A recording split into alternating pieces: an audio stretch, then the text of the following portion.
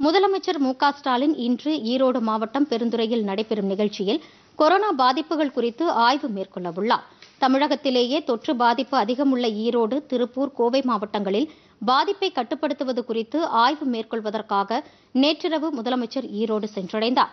முதலமைச்சரை மாநில மருத்துவம் மற்றும் மக்கள் நல்வாழ்வுத்துறை அமைச்சர் மா. சுப்பிரமணியன் வீட்டு வசதித்துறை அமைச்சர் முத்துசாமி உள்ளிட்டோர் வரவேற்றனர். ஈரோடு விருந்தினர் மாளிகையில் நடைபெற்ற நிகழ்ச்சியில் முன்களப் பணியாளர்கள் தூய்மைப் பணியாளர்களுக்கு அரிசி மற்றும் அத்தியாவசியப் பொருட்களை முதலமைச்சர் மு ஸ்டாலின் வழங்கினார்.